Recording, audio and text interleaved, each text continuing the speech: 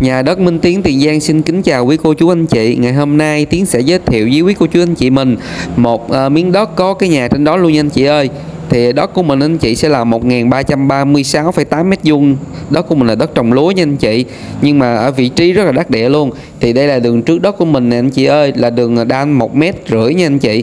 À, nhưng mà tương lai là tương lai sắp tới thì nó sẽ mở rộng nữa nha anh chị. Thì đường mình là đường thông nha anh chị, nó sẽ thông vào khu dân cư phía trong. Thì đây là miếng đất cũng như ngôi nhà ngày hôm nay thì sẽ giới thiệu với quý anh chị nha. Thì ờ, đây là đường ra đường tỉnh 866 nè anh chị. Từ đây ra đường tỉnh 866 đó chỉ có là 200 m thôi nha anh chị ơi.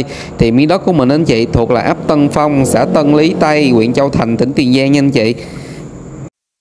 Giấy tờ của mình là sổ hồng nha anh chị. Và khi anh chị mua thì bên đây sẽ đo đạt lại cho anh chị và chịu toàn bộ chi phí luôn nha anh chị ơi. Thì đây là bên trong đất của mình anh chị. Đất của mình thì có mặt tiền ngang khoảng hơn 30 mét nha anh chị. Và chiều sâu khoảng à, một cạnh là 62 mét một cạnh là trên 40 mét nha anh chị. Tổng diện tích là 1336,8 mét vuông à, và đây là căn nhà của mình nè anh chị. Là trên đất là có căn nhà luôn nha anh chị ơi. Thì đất mình sẽ là đất lúa nha anh chị. À, thì từ đất của mình anh chị mà mình đi ra ngay chỗ à, à, điện máy xanh bắc quá xanh anh chị là khoảng là 1,3 km là mình ra ngay quốc lộ 1A luôn.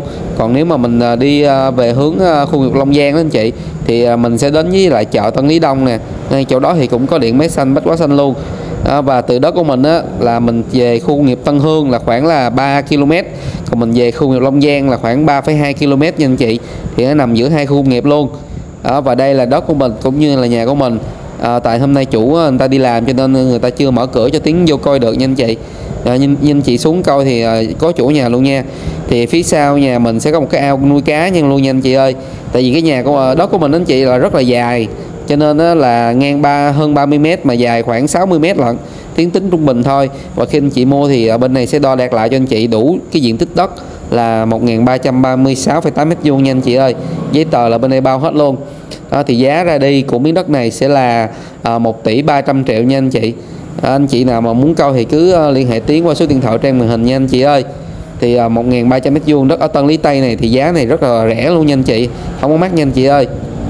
À, và chị thấy là đây là điện nước wifi đầy đủ luôn nhà chủ hiện chủ đang ở luôn nha anh chị. À, tại vì kẹt tiền nên chủ mới bán nha anh chị ơi. Chào tạm biệt anh chị. Hẹn gặp lại anh chị vào những video tiếp theo ạ. à.